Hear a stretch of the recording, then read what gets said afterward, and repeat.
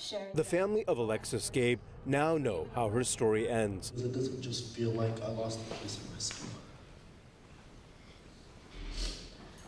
It's more like I lost memories I could have had with you. Alexis went missing last January 26th.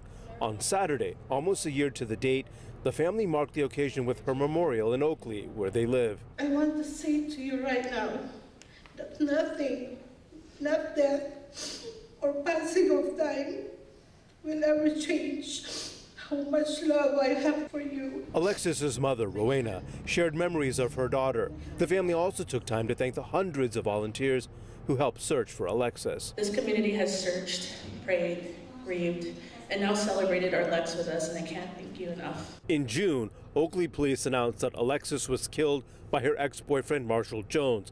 The Gabe family later learned that Jones allegedly cut up her body and tried to dispose of the remains. I pray to God to give me strength to bear your absence. This may be a memorial for Alexis, but the family says their work continues.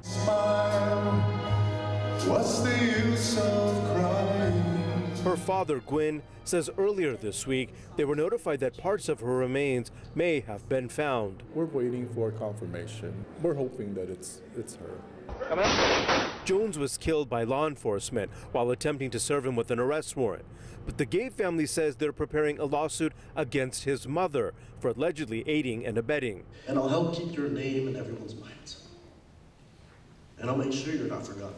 The family says there can never be closure when losing a daughter. Losing my daughter is, uh, you know, it's really hard. So there's no closure for this. And we still need justice. And we will continue, continue the search. In Oakley, Anser Hassan, ABC 7 News. Thank you.